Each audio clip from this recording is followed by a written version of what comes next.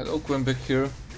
This time we are farming Queen's coin purses. I'm going to spend 5000 labor to open them up.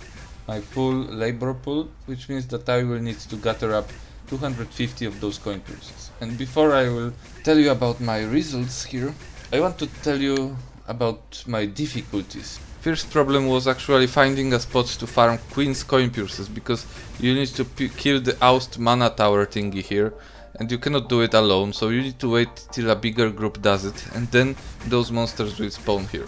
So in my case it turns out that this was the only zone that I could do it, and another problem was that since it's the only zone, a lot of players were also in my way, uh, including enemy factions.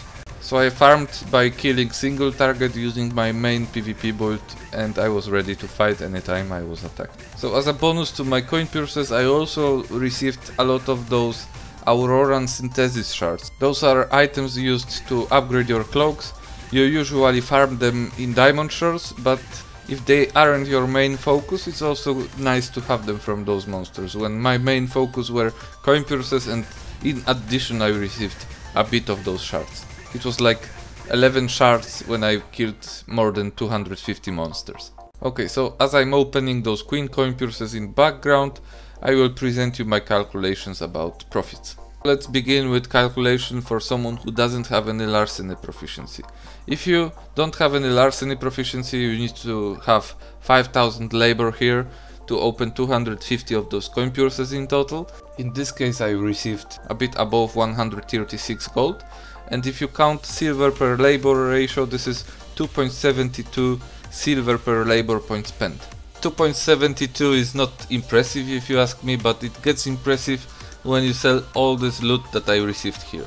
After vendoring trash items and listing good items on the auction house, I've managed to make 350 gold here, which means that without any larceny proficiency, I'm making 7 silver per labor point spent. That's really impressive. And it gets even more interesting when I start calculating my discounts from maxed larceny. With maxed larceny I would make 3.63 silver per labor point spent if we assume that I'm not selling loot that I received from those coin purses, but of course we are selling the loot.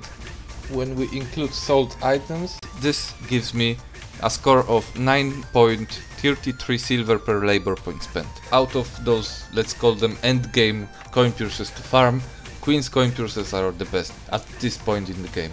Of course you need to remember that during my process of gathering them, opening them and calculations, prices on auction house were changing, my RNG also is affecting this score and there are always resources that you have to put into this farming method because you need to start with buffs, you need to have some recovery potions so as results will be different, bits different for everyone I think we can agree that Queen's coin purses are a definitely good way to go if you are thinking about farming coin purses and you are thinking which one you should farm. So that's it from me, if you liked the video please comment, hit the like button or subscribe. Thank you very much and see you later.